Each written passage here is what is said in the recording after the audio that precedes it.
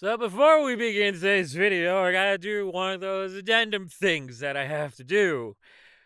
Apparently in the last video, I mistook the abbreviation RPF for roleplay fiction. As it turns out, by 50 some odd comments, I was wrong. It's real person fiction. To which I say, Andy, hand me the microphone. Ah, thank you, thank you. it's still pretty weird! What are you doing? Why do you want to do this with your mutuals? They're people you know! Just stop it! See the grass? Go touch it! Okay, moving on. As I pondered a pronoun change, I began to think of gender less as a scale and more as a landscape. Some people are born in the mountains, while others are born by the sea. Some people are happy to live in a place they were born, while others must make a journey to reach the climate in which they can flourish and grow. Between the oceans and the mountains is a wild forest. That is where I want to make my home. Maia Kobabe, genderqueer. That was beautiful. You know, you should be able to leave kudos on scientific studies. I liked your paper, dude. Keep at it. Oh, oh, I'm sorry. Doctor, dude. My brother tried to pick up a banana to make it look like he was talking on the phone, but all the bananas in the bunch came with it, and he just looked at me and went, Guess it's a conference call. Hmm, A plus plus recovery.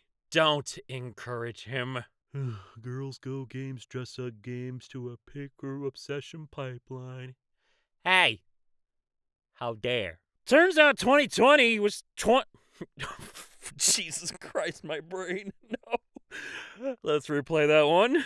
Turns out 2000 was 20 years ago, which is odd because 1980 was also. The thing Gen Z really needs to understand is that no one older than them is ever going to be able to estimate time correctly because the millennium. The millennium will always be not that long ago. Everything since the millennium will always be, in some sense, new. It broke us, okay? It was too big and we'll never quite be able to deal. Was the real millennium bug inside us all along? Yes, and it created a generational 404.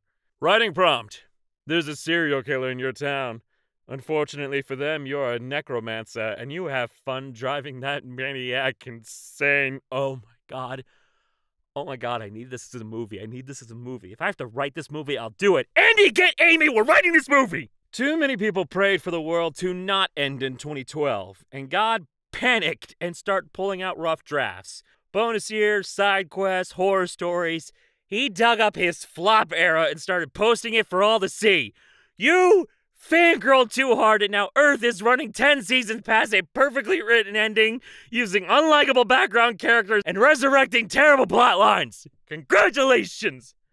God! This absolutely isn't gonna happen, but imagine the Mario movie comes out and it turns out he can do a spot on perfect Mario impression. And everyone on Tumblr gets so fucking mad.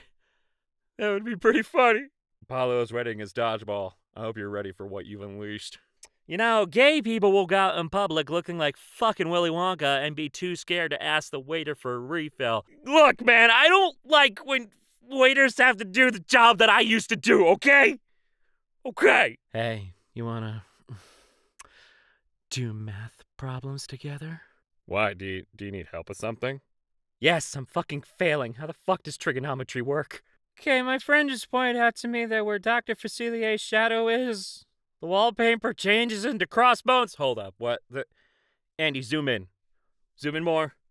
Zoom in more. Put up a skeleton. Oh, shit!